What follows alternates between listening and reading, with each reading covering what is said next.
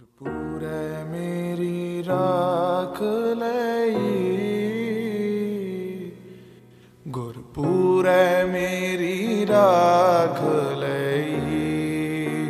Then shop analogy अभी जो मैंने बात की थी कि वाहेगुरु जी पर छोड़ देना, ठीक है? देखो सात संगत जी, मैं एक चीज़ आपको क्लियर कर दूँ। हमने जो ये सेशन डिज़ाइन किया ना, ये इस तरह से डिज़ाइन नहीं किया कि हम पहले आपको पूरा ज्ञान दे दें, उसके बाद टेक्निक्स पर आएँ।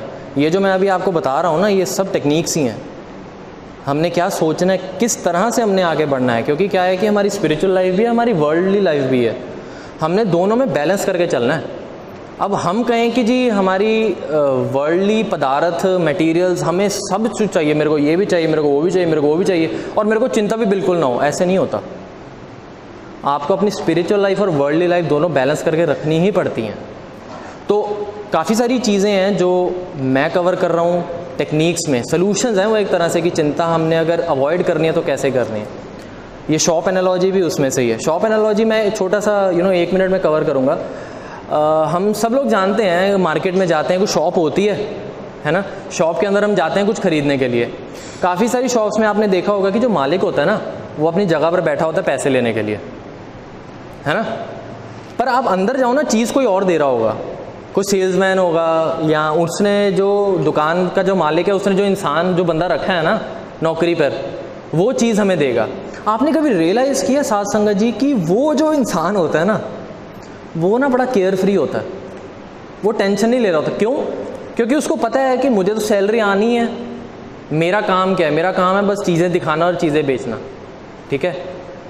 टेंशन कौन टेंशन किसकी है? मैंने अपनी टेंशन अपनी मालिक को दी हुई है। मालिक देखे प्रॉफिट हो रहा है लॉस हो रहा है, आगे चीज़ बिक रही है, नहीं बिक रही, फलाना डीमना राइट और अगर आप, मैं मालिक की बात करूँ, वो बड़ी टेंशन में होता है। मेरा घर बार कैसे चलेगा? मेरा शॉप में प्रॉफिट कैसे होगा? मेरे लॉस जा रहे हैं रॉ मटेरियल कहाँ से आएगा? ये कैसे होगा? वो कैसे होगा? फलाना डीमना राइट अब यहाँ पर ना मैं मालिक की एनालॉजी लेके आपको ये एक्सप्लेन करना चाहता हूँ कि जब एक दुकान में सेल्समैन सब कुछ मालिक पर छोड़ देता है ना तो वो टेंशन फ्री रहता है।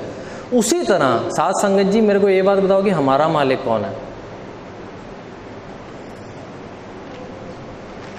वाहिगुरु जी, अकाल पुरख जी, वही हमारे मालिक हैं। जिस दिन हमने सीख लिया ना साथ संगत जी, की अपनी चिंताएँ उन पर कैसे छोड़ देनी है? उन, आप देखो, मुझे नहीं पता। अरदास कर दो, बेनती कर दो, आप देखो, मुझे नहीं पता। मैं सिर्फ़ काम करूँगा, मैं गले पर बैठूँगा। जो लोग पैसे दे रहे हैं उन्हों का काम, जो जो भी उन्होंने आइटम ली, वो सब्ट्रैक्ट करके वापस कर दूँगा। मुझे कुछ नहीं। हाँ मेहनत ज़रूर करूँगा मैं। प्लानिंग ज़रूर करूँगा, मेहनत ज़रूर करूँगा, पर चिंता नहीं करूँगा कि हाय, क्या होगा, हाय। वो होता है ना, मुँह से वर्ड निकलता हाय, ये प्रॉफिट होगा कि नहीं होगा? हम हम आदमियाँ एकदम ही हमें अगली सांस का नहीं पता है यार चिंताएँ हम ले रहे हैं कि पता नहीं आगे जाके क्या होगा, क्या नहीं होगा। तो यहाँ ये शॉप एनालॉजी से मैं ये समझाना चाहता हूँ साथ संगत जी, कि जिस तरह से एक सेल्समैन दुकान में काम करता है और अपनी सारी चिंताएँ मालिक को दे दी होती है ना उसने, उसी तरह से हम लोगों को ये समझना पड़ेगा कि जब तक हम लोग अपनी चिंताएँ अपने मालिक को, वाहिगुरु जी को नहीं देते ना, तब तक हम लोग चिंता में ही फंसे रहेंगे।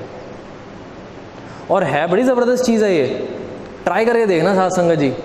कभी कोई चिंता है ना? कोई चिंता है और हमें पता है कि हम उसके लिए कुछ कर नहीं सकते। अरदास कर दो। अरदास कर दो और गुरु साहब को बोलो, गुरु साहब जी, वाहिगुरु जी। आई मीन यहाँ पर और धर्मों के भी लोग बैठे हैं। आँखें बंद करके वाहिगुरु जी, अकाल पुरख जी को, अल्लाह, राम जी, जो भी जिनों को भी आप जिन, जिस तरह से उस्तत करते हो अपने, उस एक की, उनको अरदास कर दो कि आप देखो। प्लीज़ आप देखो, मैं नहीं चिं- मैं इस चीज़ की चिंता में नहीं पड़ा, मेरे बस में नहीं है। प्लीज़ करके देखना साथ संगत जी। आज हम ये लोग सीख के जा रहे हैं, आज से ही कुछ ऐसी चीज़ ट्राई करके देखना। मैं सच में कह रहा हूँ, बड़ी ज़बरदस्त टेक्निक है, बहुत ज़बरदस्त। क्योंकि पता है क्या है, आप एक एक रियल टाइम एग्जांपल से समझ के देखो, हम कभी, हमें कुछ चाहिए होता है ना या हम किसी चिंता में फंसे होते हैं। अगर हम किसी इंसान से, किसी दोस्त से माँ बाप से या इंसान से हम लोग वो चीज़ सीख करते हैं ना कि शायद ये मेरी हेल्प करेगा। होता है ना? बहुत बारी होता है, हम अपने दोस्तों पर डिपेंडेंट हो जाते हैं, अपने पेरेंट्स पर डिपेंडेंट हो जाते हैं, अपने हस्बैंड, वाइफ एक दूसरे पर डिपेंडेंट हो जाते हैं, राइट? उन पर डिपेंडेंट होकर देखो, कभी। जादू होंगे जादू। मिरेकल्स। और जब आपने ये मेरिकल्स एक्सपीरियंस करने लगे ना साथ संगत जी, फिर हमारा जो रिलेशनशिप है ना वाहिगुरु जी के साथ, वो ना डूँगा होता जाएगा, वो और क्लोज होता जाएगा। हमारा वाहिगुरु जी के लिए प्यार बढ़ता जाएगा और यही हमारा एम है। हमने वाहिगुरु जी के साथ प्यार बढ़ाना है, उनके साथ एक मेक होना है, यही हमारी लाइफ का पर्पज़ है। बाकी सब तो फजूल हैं, वो यहीं रह जाने हैं। साथ में तो लेके जाने नहीं, हमने कपड़े भी नंगे ही आए थे, हमने वैसे ही जाना कपड़े भी नहीं लेके जाते हम तो अपने साथ। जायदाद या अपना ये सब जो बना रहे हैं, पता नहीं किस लिए बना रहे हैं। ये एक सेपरेट टॉपिक है कि मेहनत करनी है अपना घर होना चाहिए अपनी गाड़ी होनी चाहिए बेसिक नेसेसिटी सारी होनी चाहिए ये एक टॉपिक अलग है। पर जहाँ हम लोग पर्पज़ ऑफ़ लाइफ की बात करते हैं तो पर्पज़ ऑफ़ लाइफ सिर्फ़ एक ही है वो है वाहिगुरु जी के साथ एक मेक होना।